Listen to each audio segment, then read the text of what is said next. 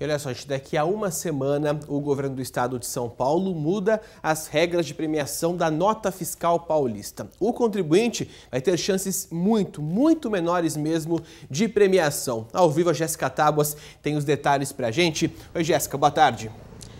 Boa tarde, Casa Grande. Boa tarde a todos. Isso mesmo. Com essa mudança, o governo vai deixar de devolver aos contribuintes quase 15 milhões de reais. E para falar um pouquinho mais sobre esse assunto, eu converso agora com o delegado tributário regional, doutor Gervásio. Doutor, boa tarde. Começa dizendo para gente, entre essas mudanças que começam a valer agora a partir do dia 1 de julho, está aí também o número de bilhetes sorteados, que vai diminuir, né? E o valor dos prêmios, que vai aumentar. É isso mesmo?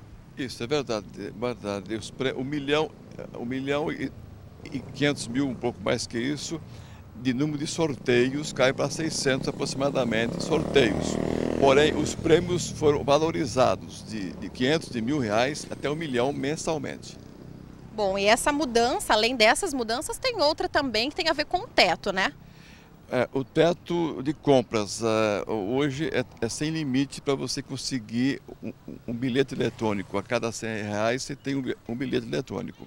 Foi o teto para 10 mil reais. Então dá oportunidade àqueles que compram menos, que consomem menos, a ter mais condições de sorteio.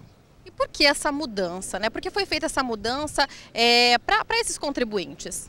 Não, a mudança é, é ajuste. É um programa que já existe há, há, mais de 10 anos, vem sendo ajustado de acordo com a realidade, né? a vida econômica é dinâmica, tá certo? Vis, visou dar mais justiça aos que menos podem comprar.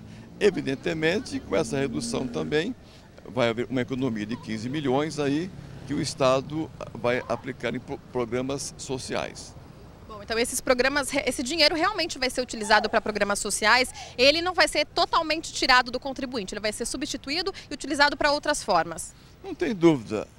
É, é, é vivemos em uma sociedade, não é verdade? Então é, é, é dinheiro que, que vai vir em benefício, vai retornar em benefício para toda a comunidade.